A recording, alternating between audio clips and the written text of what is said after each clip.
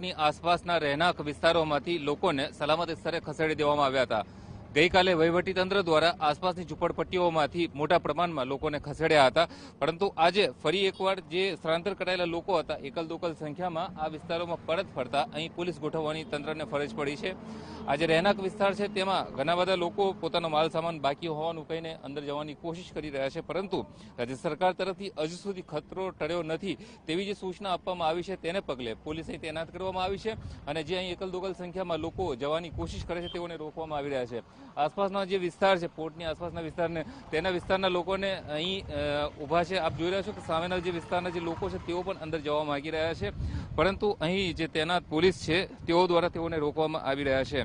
કારણ કે અંદર જો અચાનક જ દરિયાની અંદર જો તોફાન શરૂ થાય અને ચક્રવાતની સ્થિતિ જો શરૂ થાય, તો ભારે પવનને કારણે આ જે ઝૂંપડપટ્ટીની અંદર જે કાચા મકાનો છે તે ઉડી શકે છે, તેના લીધે નુકસાન થઈ શકે છે અને માનવ જિંદગીને પણ જોખમ ઊભું થઈ શકે છે. આ જોખમને ટાળવા માટે પોલીસે તૈનાત કરવામાં આવેલી છે. કેમેરામેન જીતેન્દ્ર પટેલ સાથે યુનુસ ગાઝી, ટીવી નાઇન, કંડલા.